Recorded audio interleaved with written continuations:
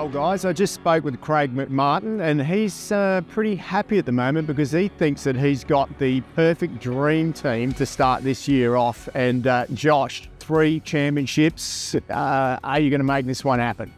Bloody hope so. That's my dream. Well, no one's done it yet. No one's done it, so it'd be so special to do that. But at the moment, I just need to keep trying my hardest and, and try and learn from the mistakes I made last year.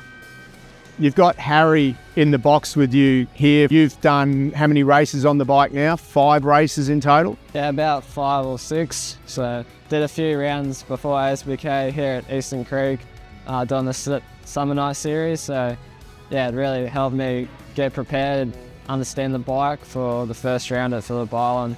I mean, you also had some great results at Phillip Island, um, a second, third, and a second. Yeah, Phillip Island had a great weekend. I got second overall, and yeah, it was really good from racecraft experience. It's mainly why I'm here to learn off these other guys, including Josh.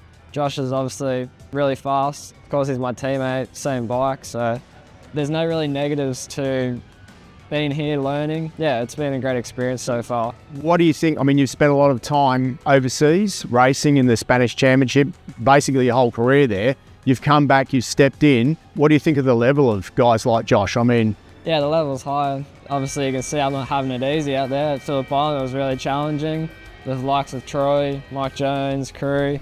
Yeah, the level is pretty high here in Australia for the superbikes, and yeah, it's great. Harry's not going to be here for long, but I mean, are you guys feeding off each other or more or less doing your own thing at the moment?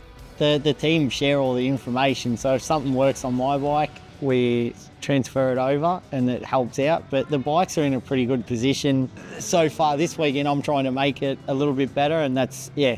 It's been interesting each time we come back in. Josh and I talk a little bit and how feeling was, and it's quite funny. Pretty much how we feel is the same between us, and yeah, do you remember when you started off uh, here in Australia? You haven't done a lot of racing in Australia, but can you remember back then looking at the heroes? I mean, was Josh one of those guys back then that you looked at and went, wow, I want to be like that dude one day? Yeah, when I came into the scene of road racing, Josh, Wayne, Troy were all there. And I really admired them because obviously I'm starting off and they're at the top. So to compete against them in the first round at Phillip Island, to me, it was it was pretty cool because I looked up to them before. So yeah. All right, guys, have fun out there and enjoy the weekend. Thank, Thank you. you.